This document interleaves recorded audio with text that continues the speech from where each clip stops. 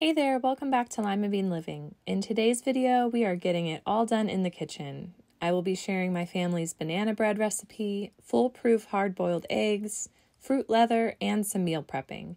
And since I have a one-month-old and a three-year-old, I thought I would share how this day went for me realistically. So expect some jumping back and forth between recipes.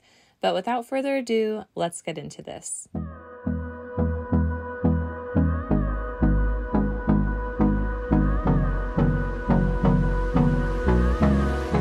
So this morning I figured I would start with preparing the fruit leather since it was going to take multiple hours to make in the oven. I decided to make this because we had some grapes that were beyond the point of snacking, meaning they were just a little too mushy for our liking, but still good. They weren't moldy or anything.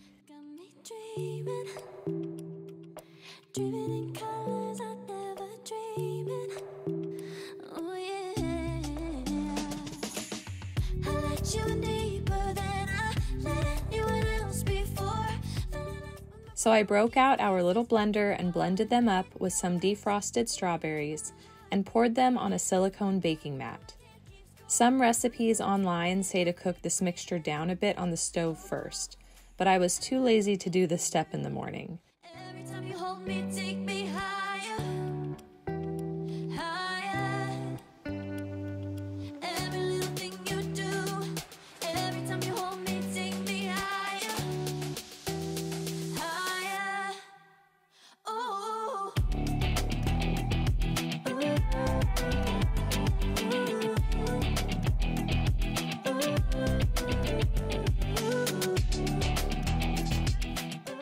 After spreading out and flattening out the mixture, I tossed it in the preheated oven.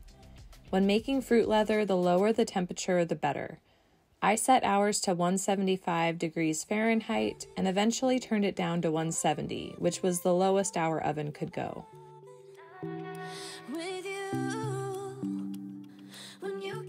Then I did a quick clean of the counters and played with Aubrey while Jack was napping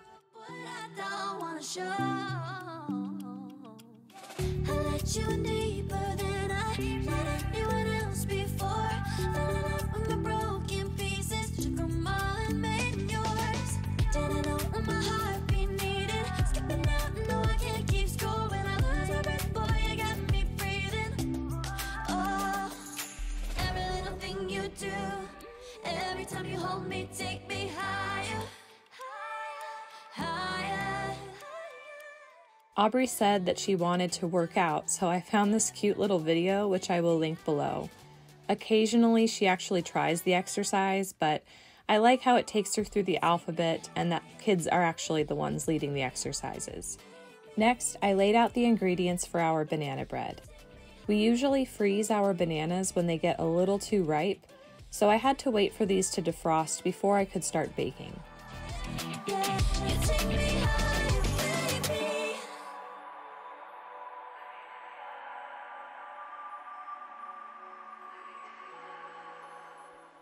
So in the meantime, I started heating the water for our hard boiled eggs and measuring out the ingredients for the bread, trying to clean up as I went.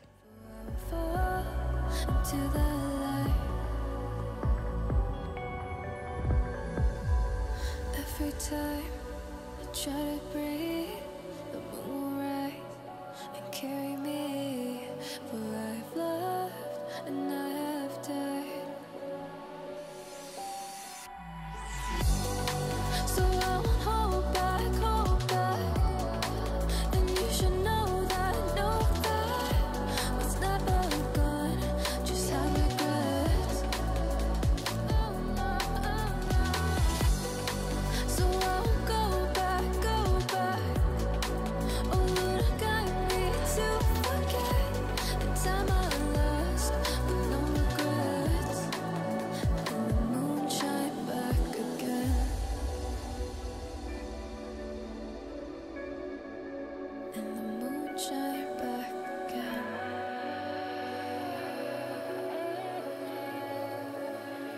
drove down to abyss.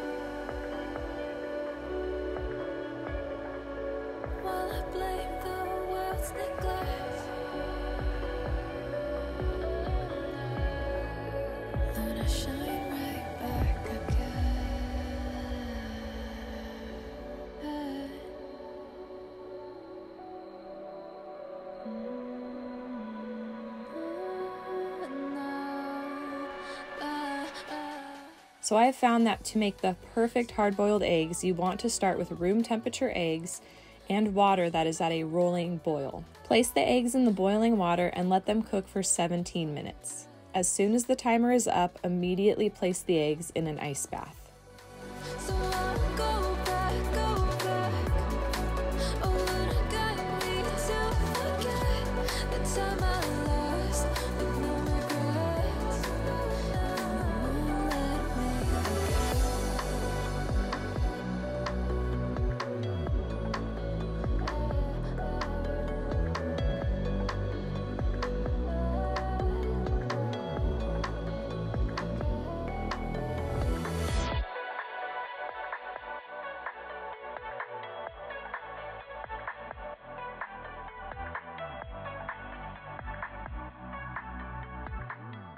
After giving the eggs some time to cool down, I placed them in a labeled container and began working on some meal prepping.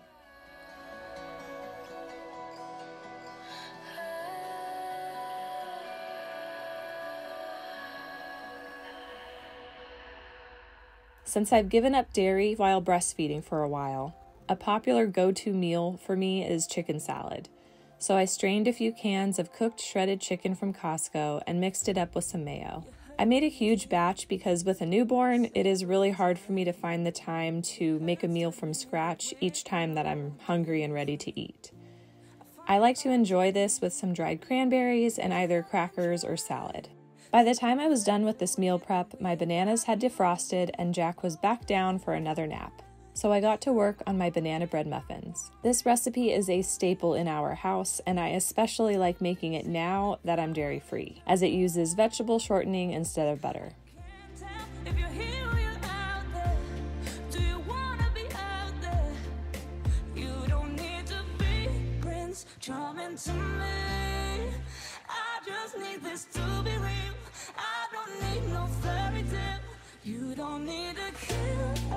Charming to me.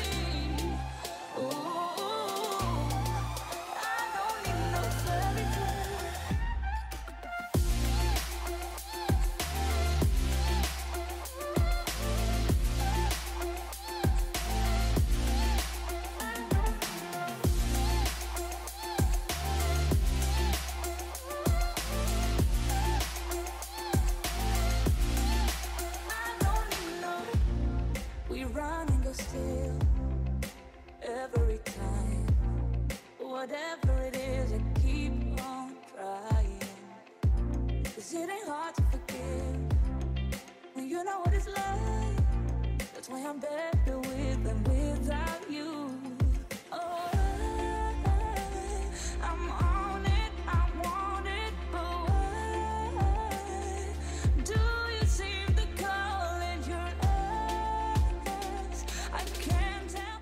Before the muffins went in the oven, I thought I would take out the fruit leather as it had been five and a half hours since I had put it in the oven. Unfortunately, though, just the edges were done. So I had to put this tray back in the oven later on to finish off the center of the fruit leather. I did taste test it though, and it was delicious.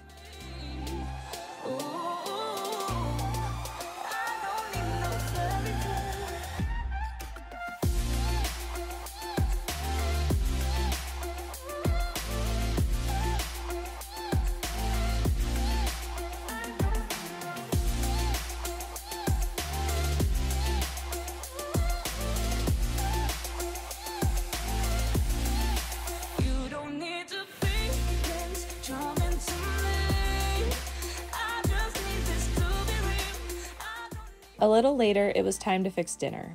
On this night, I decided to cook up a bunch of burger patties, not only to eat that evening, but also to have on hand for when Juan gets home from work.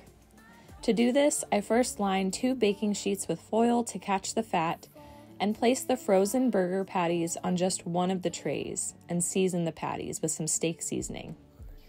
I placed both pans in a 350 degree oven and let it cook for 30 minutes. While they were cooking, I sliced up some cheddar cheese for snacking throughout the week, not for me, obviously, and thinner slices to put on the burger patties.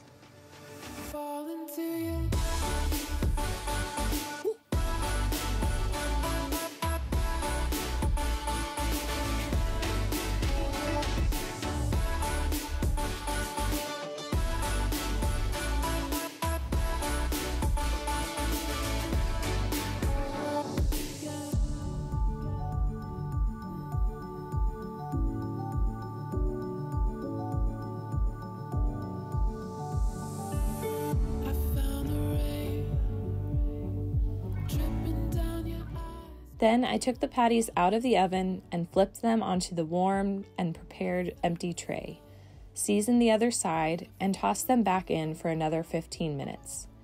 I love this method because it is relatively little work and I'm allowed to step away and work on something else while the patties cook, rather than monitoring them by a grill. When dinner was over, the fruit leather was finally done, so I separated it from the silicone mat, rolled it up, and cut it in little servings. I definitely see making this again, especially when I have fruit that is on its way out. However, in the future, I foresee cooking up the blended mixture on the stove so it gets rid of a lot of the extra moisture so that it won't take as long in the oven. I hope this video motivates you to get what you need to done and provides some insight into how things realistically get done by a stay at home mom. As much as I'd wish to just focus on and complete one task at a time, that is just not feasible with a three year old and a one month old. Don't forget to like this video and subscribe if you are new. I would love to have you stick around, and I will catch you in the next one.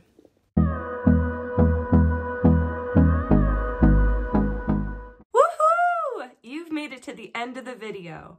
If you didn't know already, every Monday and Friday, you can find motherhood and lifestyle content on this channel. And since us moms have to do it all, that may mean yummy recipes, easy DIYs, mom hacks, cleaning and organization, or just a combo of everything. Please know that you are loved and you are made for greatness, and I will catch you in the next one.